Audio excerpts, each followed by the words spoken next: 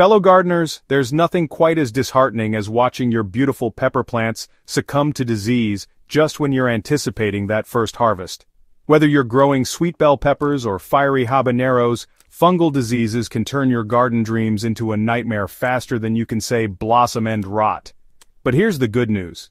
With the right knowledge and natural approach, you can protect your pepper plants without reaching for harsh chemicals. Today, we're diving deep into the five most common fungal threats that target pepper plants, and I'm going to share everything you need to know to spot them early, treat them naturally, and prevent them from returning. This isn't just about saving the season's crop, it's about building a sustainable, healthy garden ecosystem that thrives year after year. Understanding the enemy, why peppers are fungal magnets. Before we tackle each disease individually, let's understand why peppers are particularly susceptible to fungal problems. Pepper plants love warm, humid conditions. Unfortunately, so do most plant pathogens. Their dense foliage can trap moisture, creating perfect breeding grounds for fungi. Additionally, pepper plants have relatively tender stems and leaves compared to some other vegetables, making them easier targets for opportunistic pathogens. The key to successful natural management lies in understanding that prevention is always better than cure. By creating an environment that favors your plants over the pathogens, you're already winning half the battle. Phytophthora blight, caused by the water mold Phytophthora capsici, is arguably the most devastating fungal disease affecting pepper plants. This pathogen is particularly sneaky because it can attack your plants at any stage of growth, from seedlings to mature plants, heavy with fruit. The first signs of Phytophthora blight often appear as dark, water-soaked lesions on the stems particularly near the soil line. These lesions can girdle the entire stem, causing what's known as crown rot. As the disease progresses, you'll notice leaves developing irregular dark spots that seem to appear overnight. The fruit symptoms are equally dramatic. Infected peppers develop soft water-soaked areas that quickly turn into a rotting mess. What makes this disease particularly challenging is its ability to spread through water. After a heavy rain or overwatering session, you might wake up to find multiple plants showing symptoms simultaneously. The pathogen literally swims through soil water, seeking out new host plants. So, when it comes to natural treatment and prevention, the most effective approach for managing Phytophthora blight really centers around water management and soil health. Start by making sure your pepper beds have excellent drainage. Raised beds, honestly, work wonderfully for this purpose. If you're growing in containers, just make sure they have adequate drainage holes and use a well-draining potting mix. Crop rotation is absolutely crucial with this disease. Never plant peppers, tomatoes or eggplants in the same location year after year. The pathogen can survive in soil for several years, so, you know, a three to four year rotation cycle is ideal. During off-seasons plant cover crops like rye or clover to improve soil structure and suppress pathogen populations. For immediate treatment of infected plants you should remove them entirely. Don't compost them. The soil around infected plants should be treated with beneficial microorganisms. A drench made from compost tea or effective microorganisms, sometimes called EM, can help restore soil balance and suppress pathogen activity. Powdery mildew, sometimes called the white blanket disease, might look less dramatic than other fungal diseases, but don't let its appearance fool you. This disease, primarily caused by Leveillula taurica on peppers, can significantly reduce your plant's ability to photosynthesize, leading to stunted growth and poor fruit production. Spotting the signs of powdery mildew is, honestly, pretty straightforward. Powdery mildew typically starts as small white powdery spots on the undersides of leaves.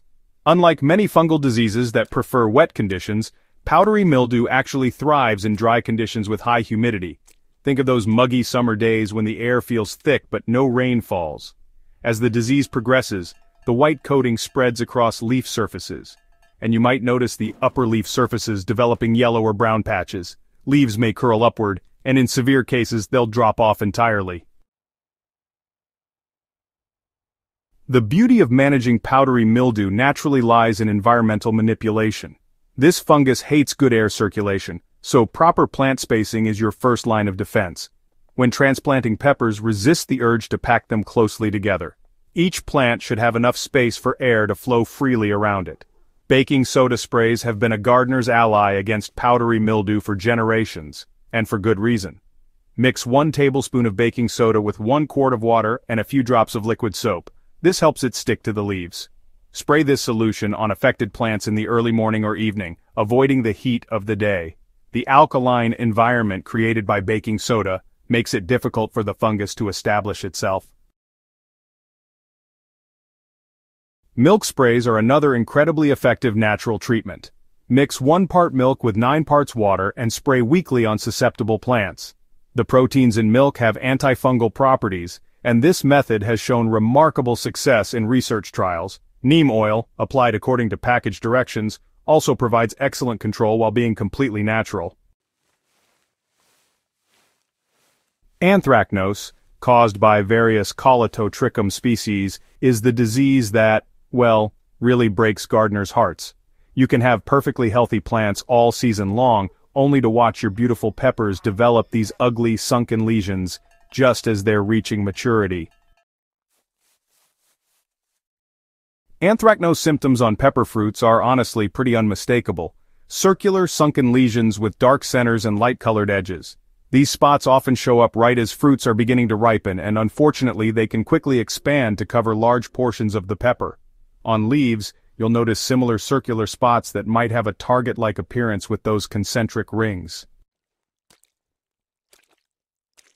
You know, the frustrating thing about anthracnose is that it can actually remain dormant in what looks like healthy fruit only to show up later during storage or as the fruit ripens. This kind of latent infection means you might harvest peppers that seem absolutely perfect only to find them rotting on your kitchen counter just a few days later. So, let's talk about natural control methods. Honestly, cultural practices really form the backbone of anthracnose management. The pathogen actually overwinters in plant debris, so a thorough fall cleanup is essential. Be sure to remove all pepper plant residue from your garden and either burn it or dispose of it in municipal waste. Never compost any infected material. Water management is also super important in preventing anthracnose. Since the spores spread through water splash, drip irrigation or soaker hoses are far preferable to overhead sprinklers. But if you do have to use overhead watering, try to do it early in the morning so your plants have plenty of time to dry before evening.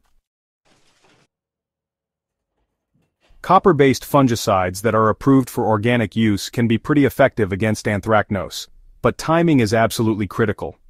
Applications should start when fruits are still small and then continue at regular intervals throughout the growing season. However, just be a bit cautious with copper applications in areas with high humidity, since phytotoxicity can sometimes occur. Managing fungal diseases on pepper plants naturally isn't just about avoiding chemicals, it's really about creating a garden ecosystem that thrives in balance, by understanding these five major threats and putting the natural management strategies we've talked about into practice, you're honestly well on your way to growing healthy, productive pepper plants that will reward you with abundant harvests. Remember, gardening is a journey of continuous learning. Each season brings new challenges and new opportunities to refine your approach. So, don't be discouraged by setbacks. They're just learning opportunities that will make you a better gardener. If you found this guide helpful, Please subscribe to Smart Garden for more in-depth gardening content. And share this video with any fellow gardeners who might benefit from these natural disease management strategies. Together we can create healthier gardens and a more sustainable approach to growing the food we love. Happy gardening!